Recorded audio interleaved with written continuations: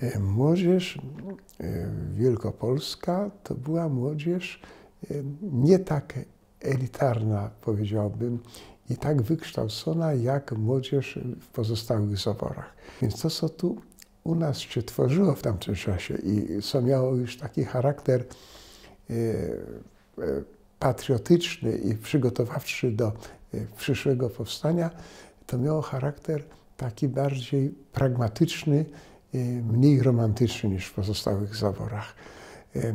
U nas jednak była potrzebna pomoc dla tej młodzieży, która przygotowywała się do przyszłego życia. To nie była młodzież bogata, stąd ta samopomoc. Ale to jakby pozwalało wychować taką młodzież bardzo ukształtowaną, bardzo świadomą swoich celów.